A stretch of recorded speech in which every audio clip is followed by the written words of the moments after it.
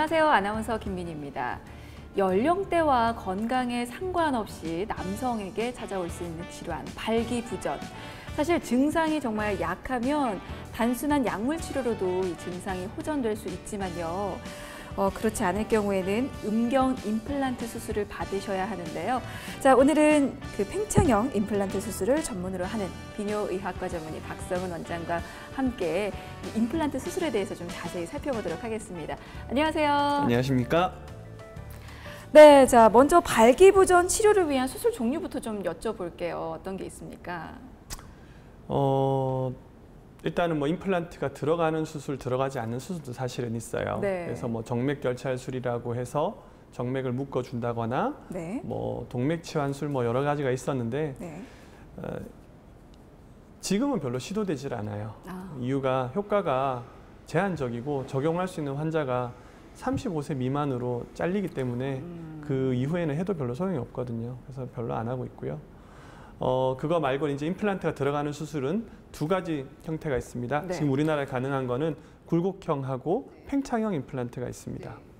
네, 그러니까 굴곡형과 팽창형이 있다. 뭐 각각의 또 장 단점은 있을 것 같은데요.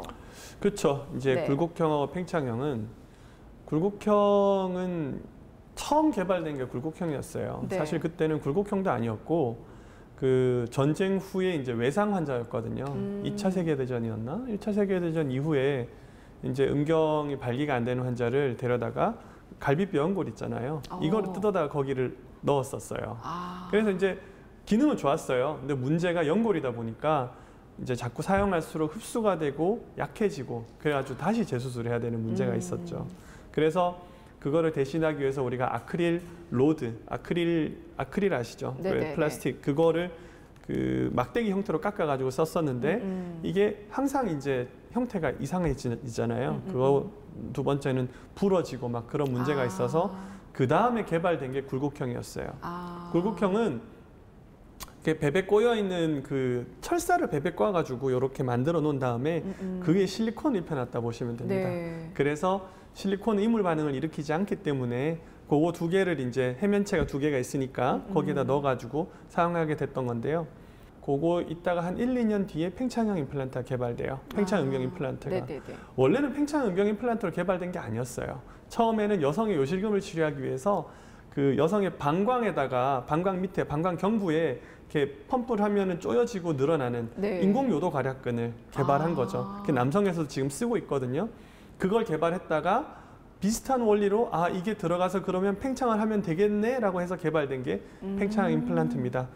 어, 실제로 이제 역사에는 브렌틀리 스캇이 개발했다고 돼 있지만 사실은 그렇지 않아요. 음. 브렌틀리 스캇이 비뇨기과 의사라서 타이틀을 가져간 거긴 하고 그 아이디어는 팀이란 뭐 제랄 팀이라는 그 공학자가 개발한 거였어요. 아, 제가 직접 만나보고 이야기도 해봤었는데 네네. 뭐 그분이 이제 그렇게 팽창 임플란트를 개발하셨죠.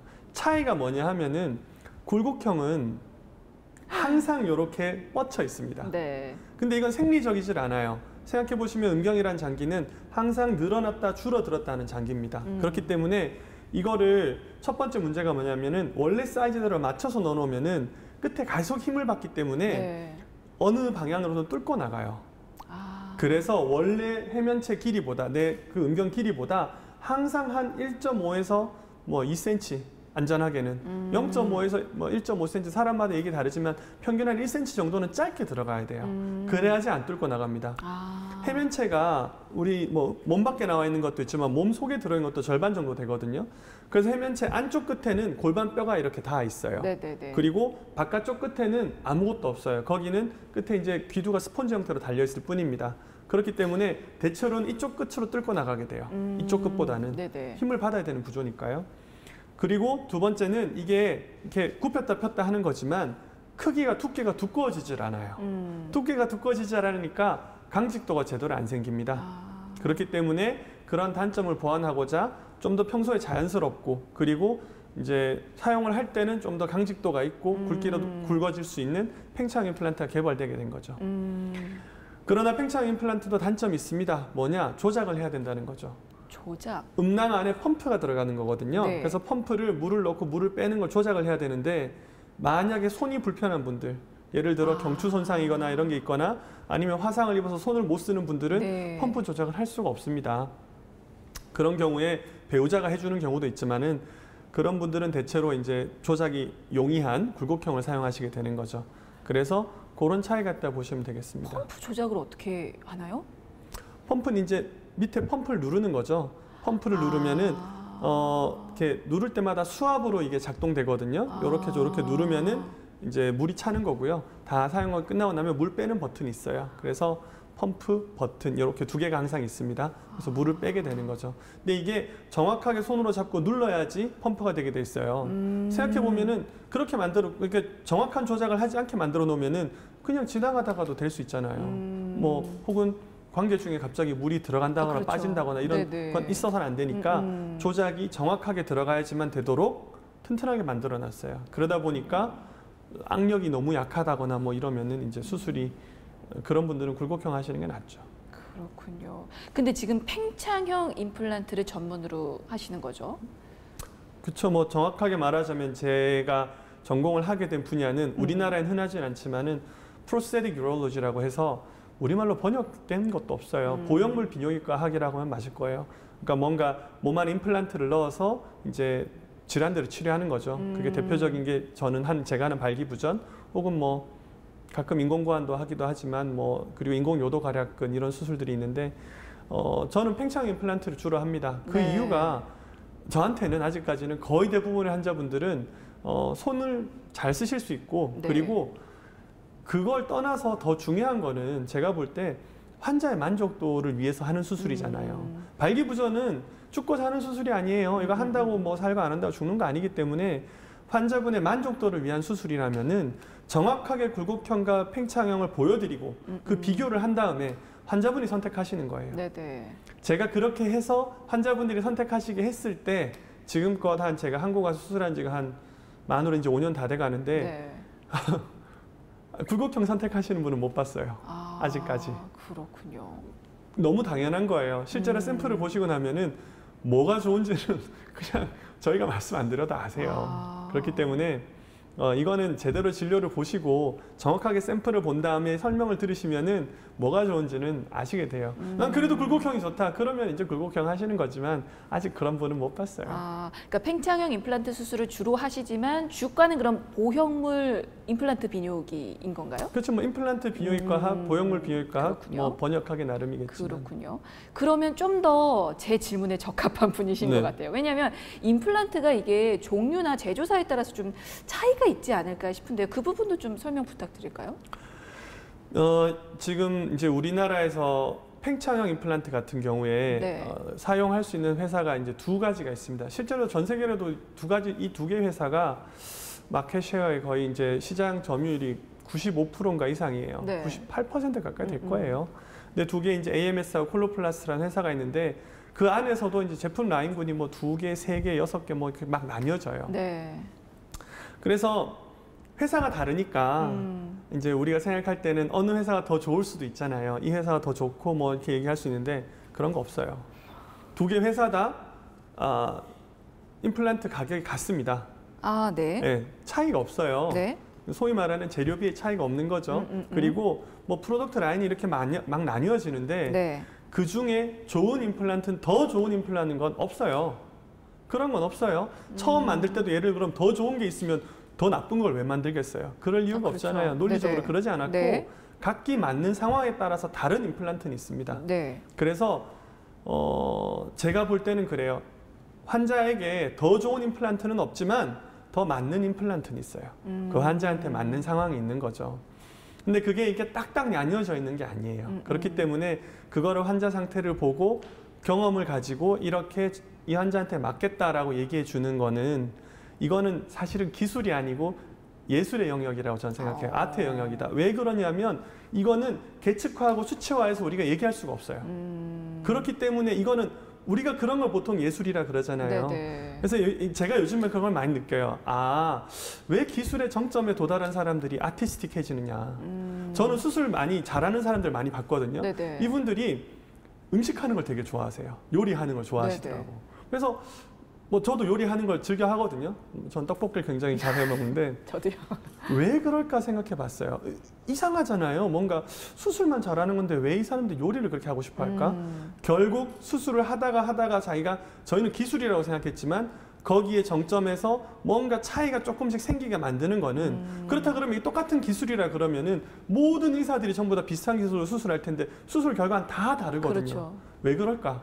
아 이게 예술의 영역이 항상 끼어 있구나. 음, 제가 이발하는 데를 이제 되게 좋아했었어요. 네네. 제가 지금 제 이발사를 되게 좋아하거든요. 네네네. 이유가 그래서 물어봤었어요. 이발은 기술이에요, 예술이에요? 그랬더니 멋진 대답을 해주더라고요. 머리를 자르는 것 자체는 기술이지만 만들고 머리가 만들어진 마지막 모습은 작품이어야 된다고 생각한다고. 오. 제가 그분을 좋아하는 제 이발사를 좋아하는 이유가 그거예요. 네. 이분은 정확하게 기술하고 예술의 그 묘, 미묘한 그 접점을 아시는 거예요. 음, 그렇기 때문에 수술도 마찬가지입니다. 그래서 그런 면들이 있기 때문에 골라서 제대로 해줄 수 있는 거는 그- 이제 어떻게 보면은 말로 설명하기 어려운 그런 음. 예술의 예술적인 감각이 좀 필요한 것 같아요. 그래서 아. 이 수술이 어려운 것 같아요. 그러니까 임플란트가 중요한 건 아니다. 중요한 건 전문의의 숙련도, 뭐 경험이라고 말할 수 있을까요? 전체 케이스의 한, 한 3%, 3에서 5% 정도는 딱 그 회사 그 제품만 써야 되는 경우가 실제로 있습니다. 음, 그런데 나머지 사실 95에서 97%면 거의 대다수잖아요. 음, 음. 그거는 딱 그거 써야 되는 건 없어요. 그러나 요걸 썼을 때 더 좋을 수는 있어요. 음, 이해 가시나요? 문제는 안 되지만 문제는 안 되지만 문제를 일으키진 않지만 더 좋은 경우는 있다는 거죠. 그럼 그게 차라리 나, 나은 거 아닌가요? 그거를 항상 결정하는 게 네. 제품의 차이를 잘 이해하고 특성을 이해해서 네네. 의사가 제대로 적용해 줘야 되는 거죠. 아, 그렇군요. 두 개의 기구상입니다. 회사예요. 이들은 기구를 만들어서 더 많이 파는 게 목적이에요. 음. 그렇기 때문에 이들이 의사나 대중을 상대로 마케팅을 합니다. 음, 내가 더 좋아. 서로 그렇게 얘기를 해요. 네. 저도 처음에는 그들이 얘기하는 얘기, 회사가 얘기하는 거를 그대로 있는 그대로 생각 받아들였었어요. 음. 아, 좋다, 좋은 거구나. 이게 좋은 거구나. 하? 해보고 나니까 아 경험이 생기니까 다 그런 건 아니에요. 아, 왜 우리가 회사들마다 얘기하는 것들을 정확하게 그 회사들이 광고했거나 혹은 음, 음. 과장해서 얘기했거나 그런 거를 거품을 걷어내고 진짜 내 환자를 위해서 이 환자를 위해서 더 중요한 게 뭔가 그런 거를 정말 정확하고 투철하게 바라보고 제대로 결정해 줄 수 있는 게 그게 저희 일이거든요. 음, 저도 시간이 많이 걸렸죠. 아, 그렇군요. 근데 저는 사실 음, 의사의 숙련도 경험 당연히 중요하지만 들어가는 임플란트의 종류와 제조사도 약간의 차이는 좀 있지 않을까 싶은데 좋고 나쁨이 비슷하다라고 하시는 거는 그게 좋고 나쁨이 뭘까요? 뭐 고장률 뭐 이런 걸 말씀하시는 겁니까? 고장률은 양쪽 회사 다 비슷해요. 음. 그러니까 한쪽 회사는 이제 뭐 자기네 실린더가 더 튼튼하다. 네. 한쪽 회사는 뭐 자기네 실린더에는 항생제 코팅이 돼 있다. 그럼 우리 쪽 실린더에는 친수성 코팅을 해놔가지고 항생제를 입힐 수 있다. 뭐 수많은 얘기들이 있어요. 결국 임플란트 수술하고 나서 가장 큰 문제가 되는 거는 고장하고 감염입니다. 어. 근데 고장률은 같아요. 거의 비슷해요. 네. 감염에 있어서 이제 변화가 생기기 시작했어요. 네. 예전에 미국에서 무슨 일이 있었냐면 그때는 항생제가 임플란트가 전부 다 항생제 코팅이 없었어요. 근데 두 개 중에 하나의 회사에서 먼저 임플란트 코팅을 시작했어요. 네.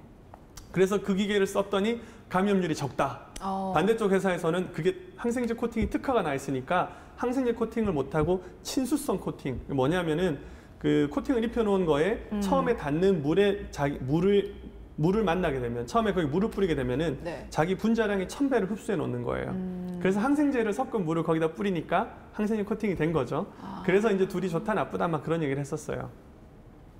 근데 재밌는 거는 항생제 코팅이 되는 게 좋은 거라면은 네. 항상 항생제 코팅이 된 사람들이 결과가 좋아야 되잖아요. 그렇죠. 실제로 그렇지 않아요. 음. 지금까지 임플란트 역사상 45년 넘는 역사상 가장 낮은 나- 감염률을 보이는 거는 뉴욕에 있는 닥터 이드예요. 음. 닥터 이드는 감염률이 0.4%가 나왔거든요. 음, 음. 0.4%라는 경이적인 결과예요, 네. 사실은. 제로는 없습니다. 이거는 뭐 그럴 수는 없기 때문에. 그런데 닥터 이드가 수술하는 병원이 물론 닥터 이드가 수술하는 병원이 정말 재밌는 거는 항생제 내성균을 관리하기 위해서 음. 수술 전후 수술 중에 항생제를 못 쓰게 해요. 아예 어. 병원 내 수술방에서 전체에서. 어. 그러니까 이 사람은 한 번도 항생제 코팅을 입히고 수술하지 않은 거예요. 그러네. 그랬는데 결과가 0.4%인 거예요. 그럼 저 밖에는 항생제 코팅을 가능하게 해줬어요. 네. 그런데도 1% 2%가 나왔다고. 네. 그러고 나서 닥터 이들을 나중에 제가 만났었어요. 네. 제가 그랬거든요. 나는 저는 이게 항생제 코팅이 그렇게 중요하다고 생각하지 않는다. 음. 친수성 코팅이 그렇게 중요하다고 생각하지 않는다. 음, 음. 그거는 듣기 좋은 얘기일 뿐이고 실제 친수성 코팅이든 항생제 코팅이든 해놔봐야 항생제 두 번 먹는 거 용량 정도밖에 안 돼요. 먹는 약 두 번이라고 정맥 주사하는 것도 아니고 그렇기 때문에 수술의 술기 혹은 수술을 어떻게 하느냐가 제일 중요하다. 제가 그렇게 음, 얘기했거든요. 닥터 이드가 이렇게 이제 연세가 60에 가까웠어요. 네. 그러니까 이제 뭐갓 마흔 정도 된 제가 그런 얘기 하니까 얼마나 귀여워 보였겠어요. 근데 맞는 얘기라고 어. 그러니까 수술을 잘하는 게 중요하지 이렇게 이제 서로 같이 얘기했던 적이 있거든요. 아. 근데 회사가 얘기하는 게 항상 맞질 않아요. 음. 당연하죠. 거기는 의사들이 아니잖아요. 그래서 경험이 생기고 나서는 아 그런 게 중요한 게 아니구나. 수술을 그러니까 뭐 항생제 코팅을 믿고 허술하게 이러면 안 되는 거예요. 음. 오히려 그럴수록 수술을 더 철저하게 해야 되는 거죠. 음. 항생제 코팅 입혔다고 수술 대충 하면 되겠어요. 그러면 감염 오는 거죠. 음. 마찬가지인 것 같아요. 그러니까 좋은 기구보다는 어쨌거나 환자 몸에 맞는 기구를 써야 한다는 말씀을 하셨었고 그러면 그 기구를 선택하는 건 의사인 겁니까? 기구를 선택하는 건 의사입니다. 음. 임플란트가 알아서 환자 몸으로 쑥 들어가진 않잖아요. 혹시 환자가 선택할 수 있나 해서 그것도 가능한가요? 환자분들이 가끔 선택을 하시고자 하는 경우들이 네, 있어요. 네. 그러니까 뭐 인터넷 알아보시고 막 네, 검색해 네. 본 다음에 이게 더 좋다고 하던데 음, 음. 이렇게 얘기를 하시는 거죠. 맞아요. 그런 거 없거든요. 음. 그런 거 아니에요. 한참 입시름을 좀 해야 돼요. 환자분들한테 음. 자세히 설명을 드려야 되죠. 그러나 환자분들은 어, 저는 이렇게 생각해요. 지식의 저주라는 표현이 있잖아요. 너무 잘 알기 때문에 의사들은 환자를 많이 보니까 우리가 환자한테 제대로 설명을 못 해주는 경우가 있지만 역으로 환자분들은 인터넷에서 너무 많은 검색을 하시다 보니까 아. 지식의 저주에 걸리는 거예요. 맞지 않는 정보들이 되게 많거든요. 네. 진료를 보시고 그래서 제가 항상 요즘 말씀드리는 게 병원 가셔서 의사 만나서 진료를 보시라는 거예요. 음, 의사를 만나봐라. 네, 가끔들 가다 보면 왜 병원들에서 아 저 상담실장이랑 얘기하시면 돼요. 음. 대체 왜 병원에 가서 상담실장이랑 얘기해야 돼요? 그 사람은 상담실장한테 의사가 아니잖아요. 안내해요. 저희는 의사 만나고 싶어요. 그 사람은 의사가 아니에요. 병원에 갔으면 진료를 보셔야 되고 가끔 저희 병원에 오실 때도 환자분들이 나는 상담만 받으려고 왔으니까 진료 진료는 아니에요. 음. 그럼 가세요. 저는 그렇게까지도 극단적으로 얘기하라 그러거든요. 음. 왜냐하면 병원은 진료를 보러 오는 곳이어야 되고 환자 몸에 뭔가 가해지는 거는 그 경험을 진짜로 알고 있는 의사가 결정해야 되는 거예요. 네. 환자 잘 꼬드겨 가지고 수술하게 하는 상담실장이 아니고 네. 그거는 장사 행동이지 그 진료가 아니에요. 예, 그렇기 때문에 환자분들이 병원 가셔서 정확하게 제대로 알고 있는 얘기를 들어야 되는 거예요. 음. 그러니까 상담실장들이나 그런 분들이 나쁘다는 건 아니에요. 네. 그분들 그분들이 일이 있을 거예요. 그러나 정확하게 의학 교육을 받은 적은 없어요. 음. 그리고 그분들이 회사들이 하는 얘기에 귀가 더 얇겠죠. 네. 회사가 얘기하면 그런지 알 테니까. 그러니까 서로 간에 뭐 이 기계가 더 비싸다, 이 기계가 더 좋다 그런 거 없거든요. 그러니까 잘못된 정보이니까 정확하게 의사를 만나서 얘기해 보시라 제가 그렇게 얘기해 드리는 거예요. 네, 환자 입장에서도 의사를 만나고 싶을 거예요. 네, 네, 홍보실장, 상담실장한테 안내를 하기 때문에 어쩔 수 없이 그분들과 대화를 하는 면도 있습니다. 네, 요거 좀 말씀을 드리고요. 네, 그리고 그러니까 어쨌거나 어떤 의사를 만나는 게 중요하다라는 그런 말씀이신 것 같아요. 그래서 그런지 원장님 그 기구 회사들 인증서를 홈페이지에 안 올리신 이유가 그것 때문인가요, 그럼? 제가 다 내려버렸어요. 그 처음에는. 저도 네. 뭣도 모르고 그런 게 이제 예, 예. 자랑하고 싶었으니까 네, 어, 네. 난, 제가 봐도 어, 이만큼 이거 했던 사람은 아직 우리나라에는 없거든요. 네, 네. 근데 어느 순간 보니까 회사들이 그거를 어, 광고 수단으로 활용하더라고요. 아니 아. 그리고 지금 생각해보면 웃기는 일이에요. 회사가 뭐라고 의사한테 인증, 인증 서를 줘요? 음. 그 사람들이 의학 교육 기관이에요? 그럼 뭐 그렇게 대단한 사람들인데 음, 그 음. 사람들 중에 누구 하나라도 의과대학 나왔어? 제대로 수술할 줄 아는 사람이 있어? 아무도 없어요. 음. 무슨 이유로 그 사람들이 인증서를 주는 거야? 음. 아 이거는 환자들의 선택에 혼란을 줄 수 있겠다. 다 내려버렸어요. 어. 다 내리라고. 음, 음. 저희가 아마 제일 많을 거예요. 게재 안 합니다. 얘기 안 해요. 어. 왜? 이런 말 하면 그럴 수도 있겠지만 양심이 어긋나는 일 같아요. 음. 이건 환자를 현혹하는 거예요. 환자분들이 저희는 선택을 받는 존재잖아요. 저희가 환자를 오세요 선택하게 뭐 이렇게 안 하잖아요. 음. 그렇다 그러면 그분들이 제대로 선택을 하실 수 있게 저희를 잘 준비해 놔야 될 것 같아요. 아, 모든 분들이 저를 선택하실 거라고 저는 생각 안 해요. 네. 그럴 마음도 없고요. 그거는 의사 환자 간도 궁합이 있어요. 그러나 최소한 환자들이 이 사람이 어떤 사람이다라는 거를 정확하게 알 수 있는 근거는 만들어 드려야 돼요. 음. 혼란시켜 현혹시켜서는 안 된다고. 그래서 다 내려버린 거예요. 근데 이렇게 아예 안 올리시면 사실 환자 입장에서는 어, 근데 뭐 쓰는지 우리가 어떻게 알아? 이렇게 얘기할 수도 있잖아요. 오셔서 저희 다 보여드려요. 아 그래요? 네. 음. 왜냐하면 진료를 보는 거니까요. 이것도 있고 이것도 다 있다. 그러나 그리고 이거 넣는다 그러고 저거 넣고 저거 넣는다 그러고 이거 넣고 한두 번이겠어요? 아. 그럴 수도 있잖아요. 그렇기 때문에 환자하고 의사의 관계에서 신뢰가 중요한 거예요. 음. 내가 저 사람에게 최선을 다할 수 있고 저 사람 나에게 최선을 다할 수 있고 그래서 의사를 만나보라 그러시는 음. 제가 말씀드린 이유가 환자분들의 거의 대부분 5, 60대 이상이세요. 음. 이제 인상을 그거 아니더라도 알아요. 우리가 만나서 얘기해 보면은 지금 저 사람이 나한테 뭘 하려는 건지 네. 얘기해 보면은 아 저 사람이 뭘 하는가 아는가 그런 것들을 이제 이해할 수 있을 것 같아요. 음. 제가 이렇게 영상을 촬영하는 걸 좋아하는 이유 중에 하나가 그거예요. 거짓말하기가 어려워요. 저희는 직업 연기인이 아니잖아요. 그렇죠. 기 때문에 음. 어, 그런 얘기를 할 때 의사를 만나보고 직접 그 사람 얘기가 신뢰가 가면 음. 그때는 맡겨 놓으셔야 돼요. 음. 그렇기 때문에 저희 어깨가 무거운 거고요. 알겠습니다. 그 한국인의 체형에 맞는 음경 임플란트가 따로 있다고 하던데 이거는 사실인가요? 그렇진 않아요. 아 그래요? 네, 그거는 이제 한국인의 체형이라는 제가 볼 때는 환상이죠. 음. 한국인의 체형, 한국인의 체형이 뭔데? 음, 한 음. 번도 과학적으로 연구된 적이 없어요. 그거는 환상입니다. 음. 그렇기 때문에 지금 이제 겨우 제가 데이터베이스 만들고 있거든요. 음. 제대로 된 데이터베이스 만들고 있거든요. 근데 그런 건 없어요. 매 환자마다 다르기 때문에 그들에게 제일 적절한 걸 찾아내는 게 저희의 일이에요. 네, 알겠습니다. 자, 지금까지 음경 임플란트 수술을 전문으로 하는 비뇨의학과 전문의 박성훈 원장과 함께했습니다. 오늘도 감사합니다. 감사합니다.